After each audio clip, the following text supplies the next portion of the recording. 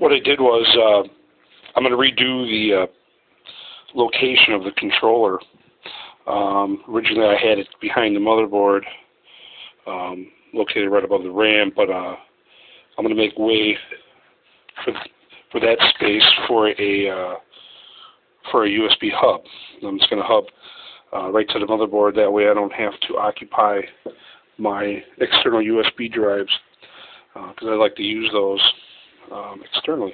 So I'm going to remove all the plugs on here and shave it down. I'm going to install it right behind the RAM uh, on the motherboard, right in this spot. It's going to sit like this, basically just like that. I'm going to shave it down. It's going to feel real nice in the uh, compartment there. So um, what I also did was, in order to make the uh, touchscreen controller um, located here, I had to shave it down. I cut it down on the uh, touch panel connection, and as you can see where I cut it, I just shaved it down there. So this will allow me to stick it right in here without it being in the way of anything. So it'll fit real nice and snug.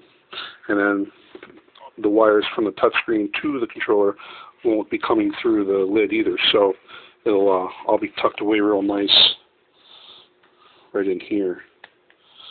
So it's a nice little uh, change I'm doing. But again, if you don't cut the controller, it can't fit here, and I, I don't want to relocate the speaker at all. So it fit real nice and snug right in that spot. So I'll throw some double face tape on there, and then just wire it touchscreen from here to the wire connector here, and then I'll run the uh, USB um, cable right to the USB hub underneath the motherboard, going through like the fan notch, there. So um, that way it'll be it'll be a nice, neat installation, and um, it won't uh, give me any problems closing the casing up or anything. So that's what I'm doing now.